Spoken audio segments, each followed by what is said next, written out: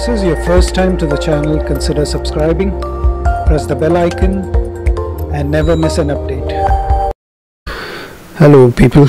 So, today's video is an update on the RD. So, it's almost completed. So, the things that I did, you know, away from the camera are I actually got the rear wheel out cut all the spokes took the hub to a lathe and got that leveled. Now it runs properly uh, and brakes so the only challenge with it right now is uh, the brake pads I mean brake shoes have to bed in. So that will take some time.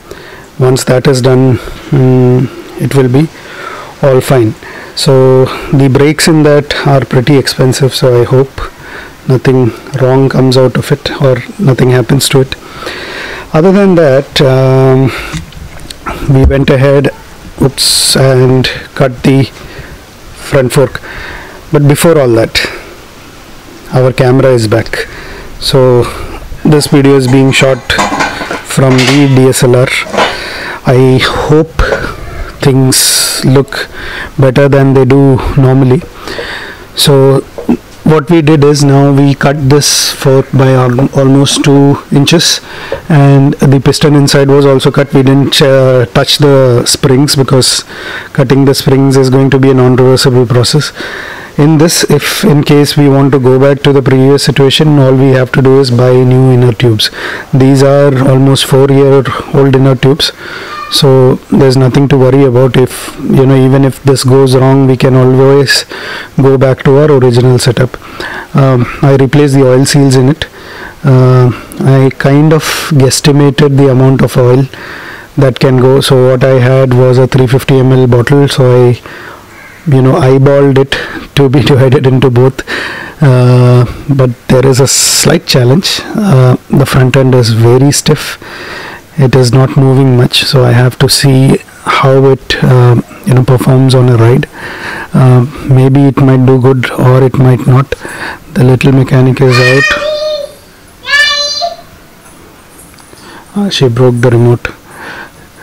She also scratched our 55 inch TV which is an excellent job done. If you know we were kids we cannot even drop a plate. I remember you know uh, you cannot anticipate where the you know who's going to hit you. First is it going to be mom or dad?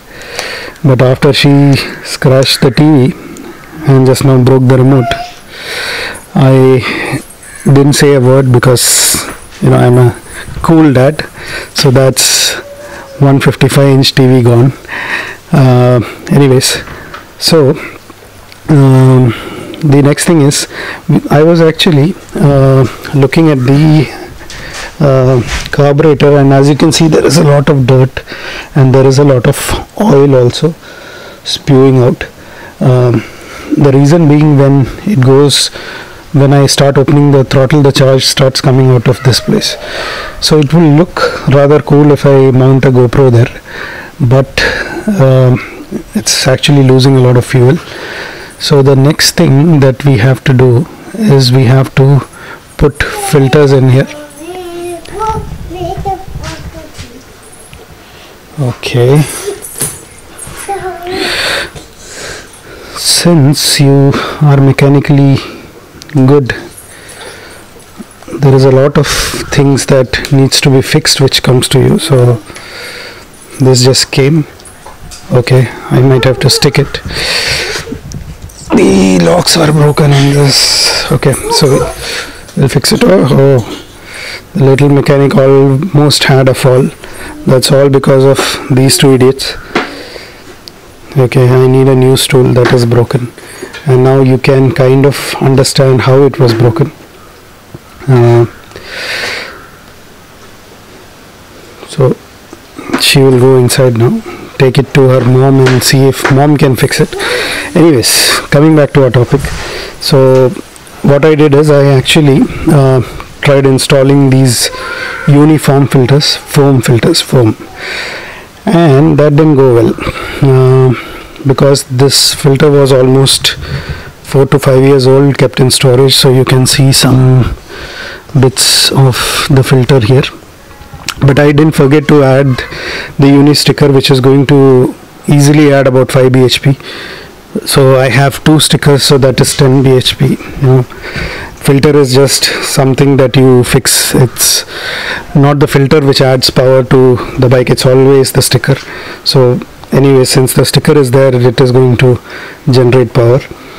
And uh, well if you didn't understand that was me trying to tell you a small joke. So yeah um, both the rims are new.